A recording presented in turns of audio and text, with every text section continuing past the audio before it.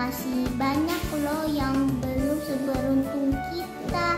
Misalnya ada tidur di dekat jalan dan ada yang bekerja keras mencari makanan dan ada juga yang putus sekolah. Jadi kita bisa membantu mereka dengan menyisikan uang jajan untuk mereka atau mendoakannya.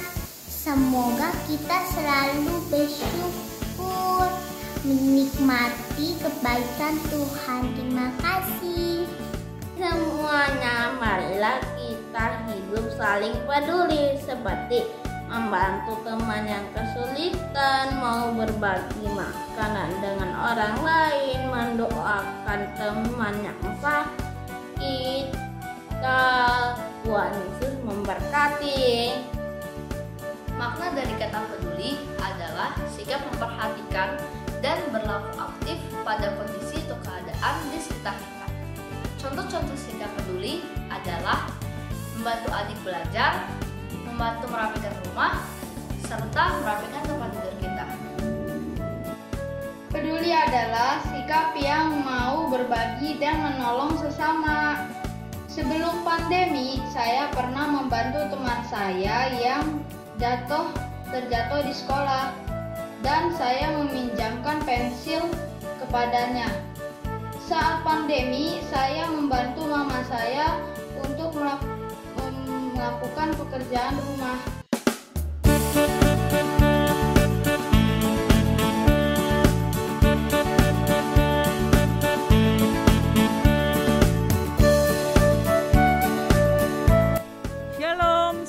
Hari Minggu adik-adik. Apa kabar adik-adik semua? Tentu adik-adik dalam keadaan baik-baik ya, sukacita, sehat-sehat. Nah, adik-adik semua, kita akan mulai ibadah kita. Hari ini adalah minggu ke-15 setelah Trinitatis. Sebelumnya, kita akan mulai dengan lagu yang akan dipandu oleh kakak-kakak guru sekolah minggu.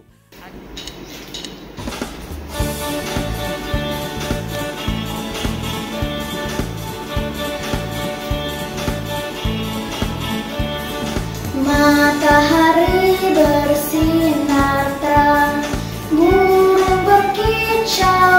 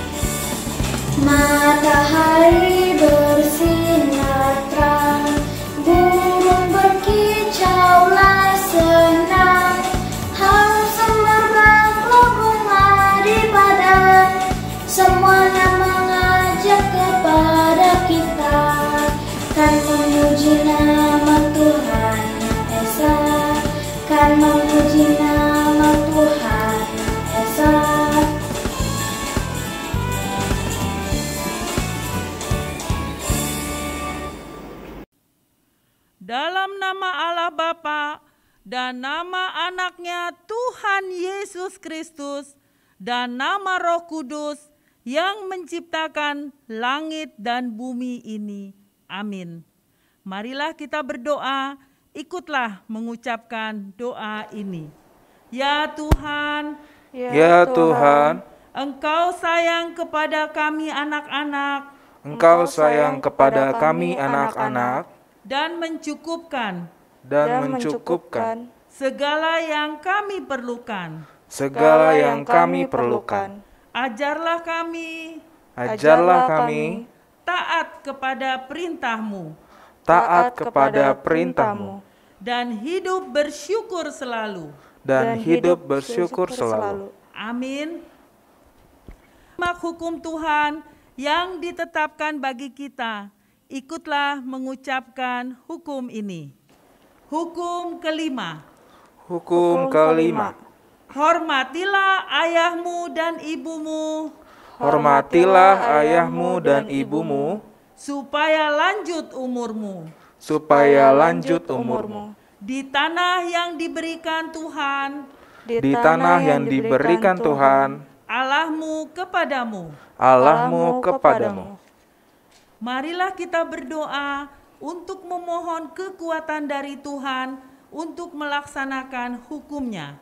Ya Tuhan Allah, Ya Tuhan Allah, kuatkanlah kami kuatkanlah kami melakukan melakukan yang sesuai dengan hukumu. yang sesuai dengan hukummu. Amin. Amin. Mari kita bernyanyi yang akan dipandu oleh kakak-kakak guru sekolah minggu. Dalam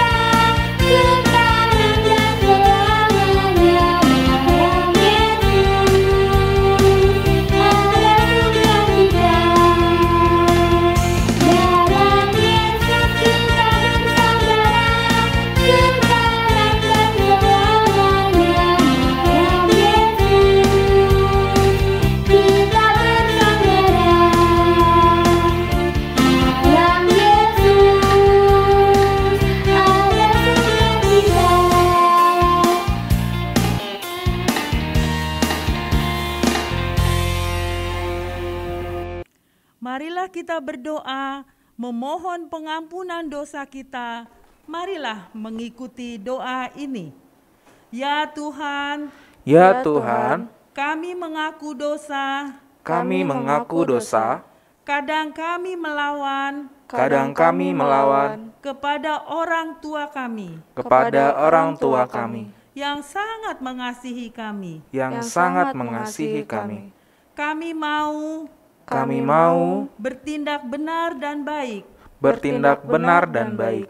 Tolonglah kami Tolonglah kami menjadi anak menjadi anak yang taat kepada Tuhan, yang taat kepada Tuhan, orang tua, orang tua, dan guru kami. dan guru kami. Amin. Amin.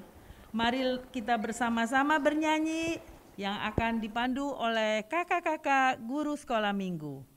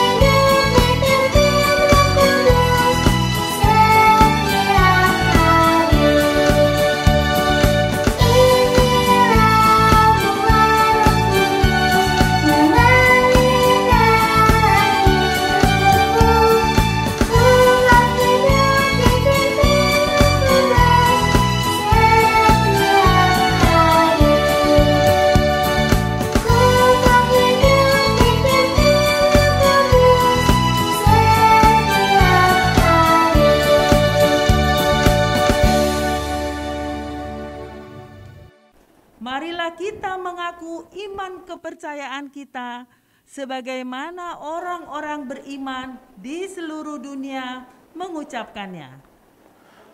Aku percaya kepada Allah, Bapa yang Maha Kuasa, Halik langit dan bumi. Aku percaya kepada Yesus Kristus, Anak Allah yang tunggal Tuhan kita, yang dikandung daripada Roh Kudus, lahir dari anak darah Maria, yang menderita sengsara di bawah pemerintahan Pontius Pilatus, disalibkan, mati dan dikuburkan, turun dalam kerajaan maut, pada hari yang ketiga bangkit pula dari antara orang mati, naik ke sorga, duduk sebelah kanan Allah, Bapa yang Maha Kuasa, dan akan datang dari sana untuk menghakimi orang yang hidup dan mati. Aku percaya kepada Roh Kudus, gereja yang kudus dan am, persekutuan orang kudus, pengampunan dosa, kebangkitan daging, dan hidup yang kekal. Amin.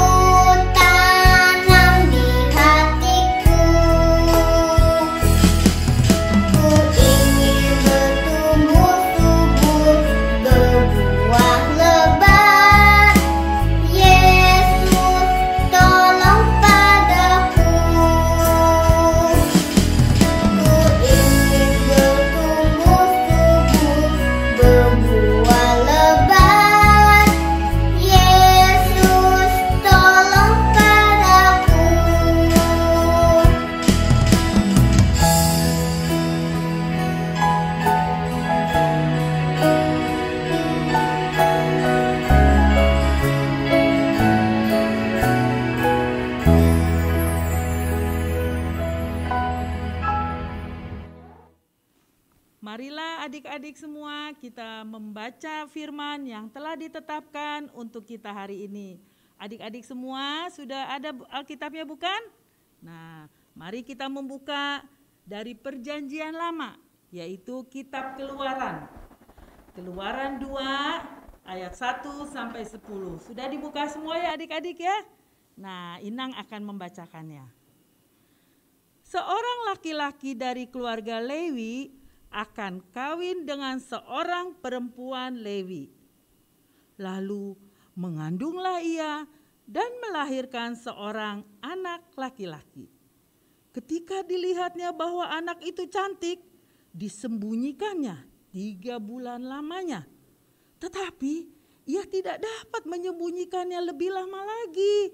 Sebab itu diambilnya sebuah peti pandan, dipakalnya dengan gala-gala dan ter, diletakkannya bayi itu di dalamnya, dan ditaruhnya peti itu di tengah-tengah Teberau, di tepi sungai Nil. Kakaknya perempuan berdiri di tempat yang agak jauh untuk melihat apakah yang akan terjadi dengan dia. Maka datanglah putri Firaun untuk mandi di sungai Nil. Sedang dayang-dayangnya berjalan-jalan di tepi sungai Nil. Lalu terlihatlah olehnya peti yang tengah-tengah Teberau itu. Maka disuruhnya hambanya perempuan untuk mengambilnya. Ketika dibukanya, dilihatnya bayi itu dan tampaklah anak itu menangis. Sehingga belas kasihanlah ia kepadanya dan berkata, Tentulah ini bayi orang Ibrani. Lalu bertanyalah kakak anak itu kepada putri Firaun. Akan kupanggilkah bagi tuan putri seorang inang penyusu dari perempuan Ibrani untuk menyusukan bayi itu bagi tuan putri? Sahut putri Firaun kepadanya, "Baiklah." Lalu pergilah gadis itu memanggil ibu bayi itu. Maka berkatalah putri Firaun kepada ibu itu, "Bawalah bayi ini dan susukanlah dia bagiku, maka aku akan memberi upah kepadamu." Kemudian perempuan itu mengambil bayi itu dan menyusuinya. Ketika anak itu telah besar, dibawanyalah kepada putri Firaun yang mengangkatnya menjadi anaknya dan menamainya Musa. Sebab katanya, karena aku telah menariknya dari air. Demikianlah pembacaan firman Tuhan. Nanti kakak-kakak guru sekolah minggu yang akan menjelaskannya kepada adik-adik di kelas masing-masing. Adik-adik sudah menyiapkan persembahan untuk Tuhan Yesus? Baik, sambil mengumpulkan persembahan, kita bernyanyi bersama-sama ya.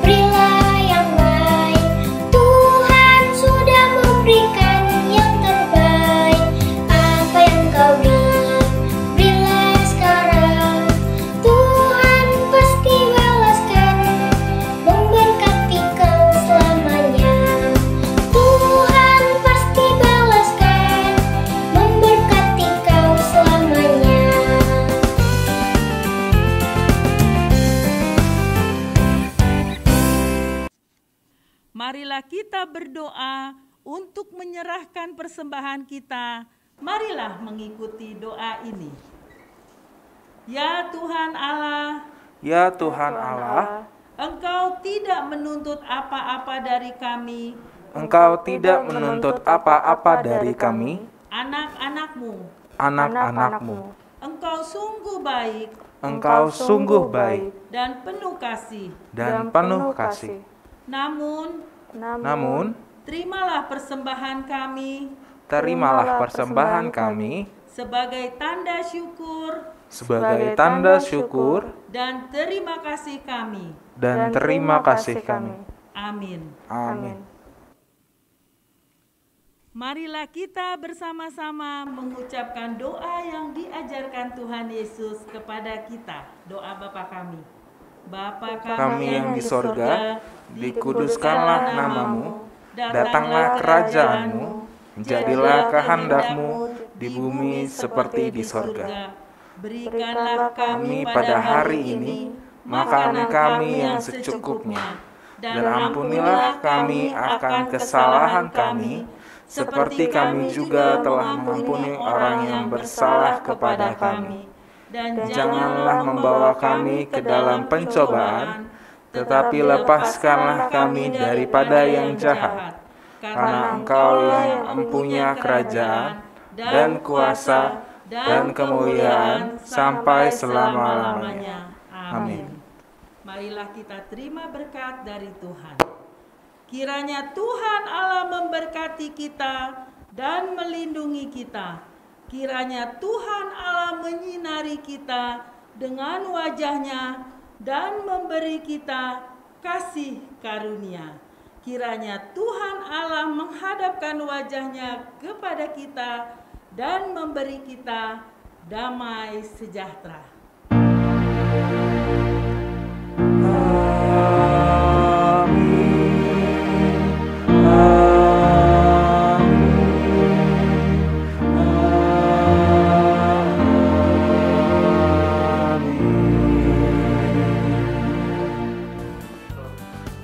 Terima kasih Nang Sintua. Sama-sama.